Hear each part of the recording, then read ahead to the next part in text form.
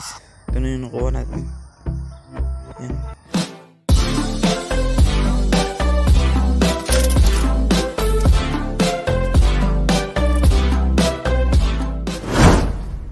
So what's up guys, ngayong araw ituturo ko sa inyo kung paano gumawa ng bird trap o trap ng tikling.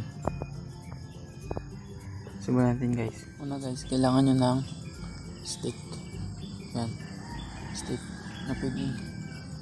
Yan. Nylon. Bro ito guys. Ano ito? Sa sapatos. Ito yung ginamit ko para makikita nyo. Pero ang gamitin nyo kapag gumawa na kayo ng trap ng tikling nylon yung manipis na nylon o maliit yun kaya ito guys pi- pinapakita ko sa inyo kung para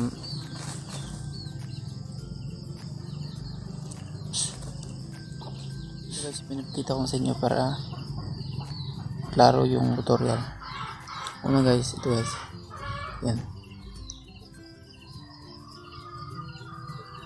Imagine nyo lang guys, nylon. Una, ganyan.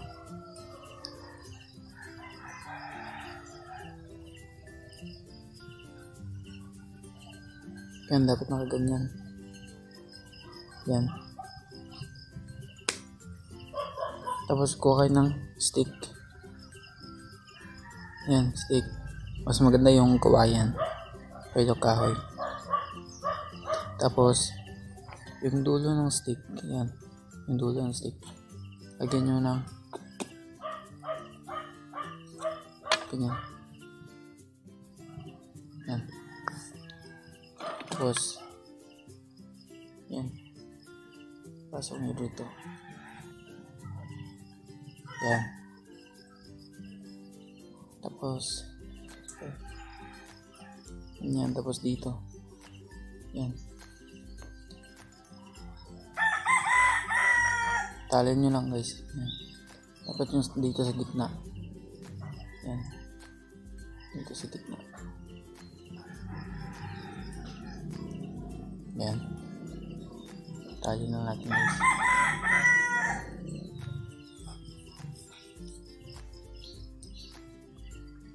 Tapos, ganyan. Yan yung itsura. Tapos, ganyan.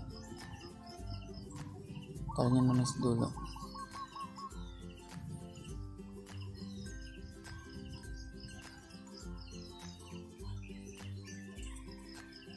So yan, nakaganyan na siya guys. Pagkatapos guys, yung dito, yan. Lagyan nyo ng ganito. Yan.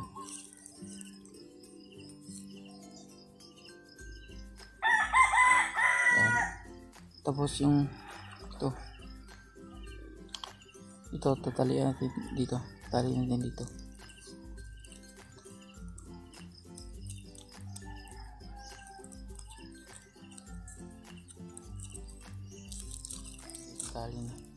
Yan.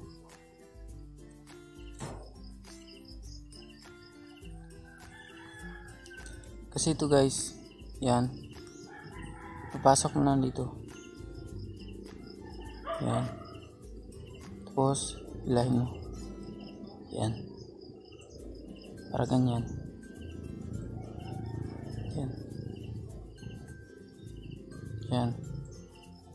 Tapos, gumawa ka ng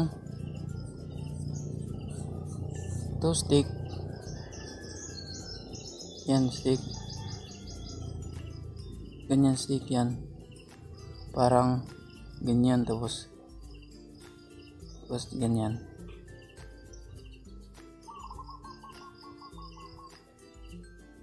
So ipakita ko sa inyo guys kung paano ito gagamitin. Tara.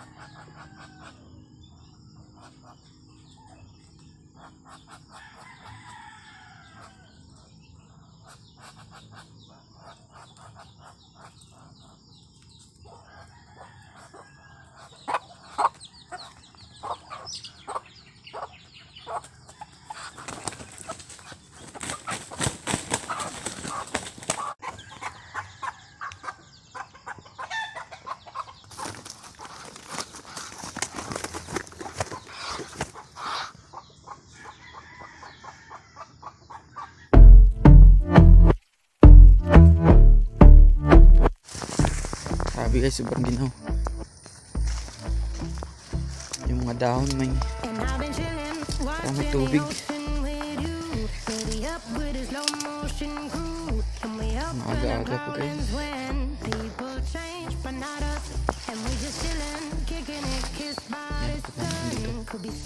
Yung isa dito, sinira ko guys. Dito isa yun. Isa dito. Yan, sinira ko.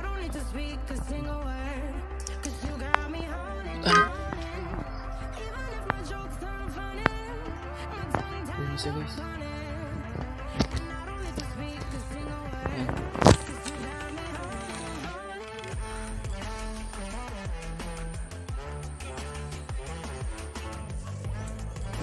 Yan. Tara, punta natin yung isa.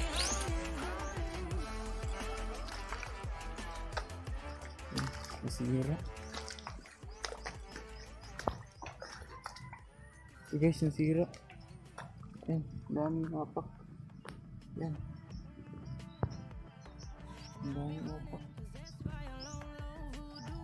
Daming isa dito guys.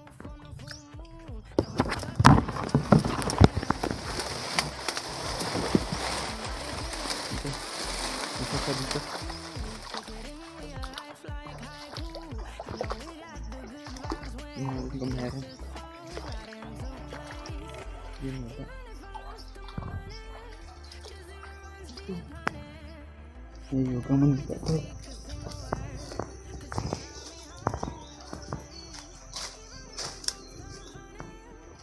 Ito. Bakit natin sa isa?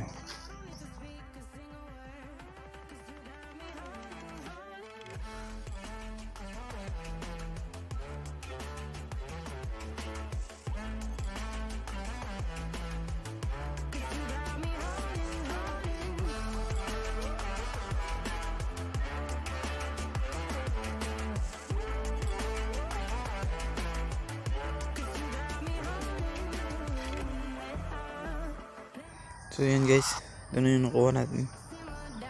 Yan. Ang daming apak ng dito guys. Yan. Yan, ang daming apak.